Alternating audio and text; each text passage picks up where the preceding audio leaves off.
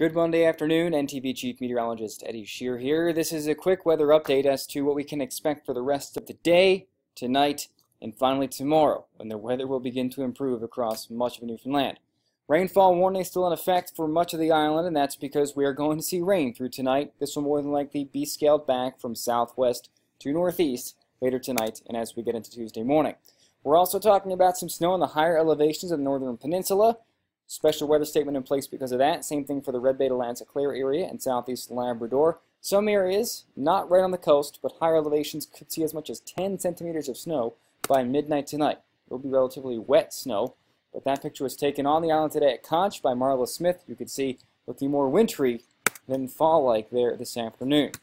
As far as what we have going on now, radar imagery showing lots of rain across the island, especially once we get to the west of Terra Nova and down toward the Connaigre region west. So there, very heavy rain uh, coming down at a pretty good clip. And this will continue as we get into this evening, as there is still more rain down to the south and west. And radar imagery showing that light to moderate wet snow for parts of the northern peninsula this afternoon, mainly the higher elevations.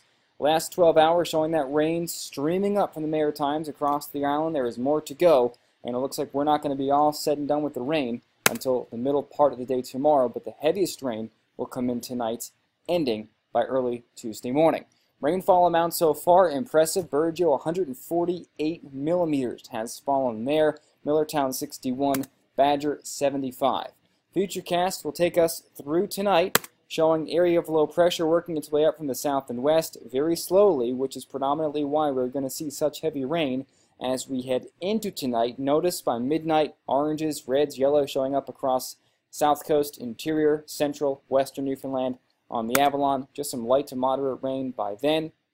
By 3 o'clock in the morning, that's when the Avalon, we will see our heaviest rain. Northeast coast will see the heavy rain, but it's also beginning to taper off from the west coast eastward by tomorrow morning. But as we go through tomorrow, the low will begin to pull away, but on the back side of it, winds go northerly and we will see onshore showers across the northeast coast, Bonavista Vista Peninsula, and the Avalon as we head through tomorrow. That will wind down tomorrow night.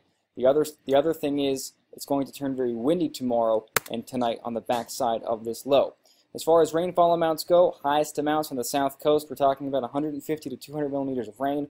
The farther north for central, interior parts of the island, Gander, New West Valley, just west of Clarenville, including Terra Nova, we're talking about 100 to 150 millimeters of rain some localized flooding and some infrastructure problems from all this water could certainly be a realization. Wind warning in place for uh, Bay of Exploits, Burgeo Ramea, and uh, I'm not sure why it's not showing up for the Avalon North, Bonavista Peninsula, and uh, Bonavista North, but there is currently a wind warning in place there for winds tonight and tomorrow gusting close to 100. And timing these wind gusts out for you, they will begin to peak after midnight. As we go through the early morning hours of Tuesday, we see some very strong gusts as we get into noon tomorrow, the strong winds do continue as well, but by afternoon tomorrow, the core of those highest wind speeds begin to move offshore, and the winds will begin to calm down, setting us up for a half-decent day on Wednesday. Have a great evening, stay safe, and tune into the news between 5.30 and 7 for your latest forecast.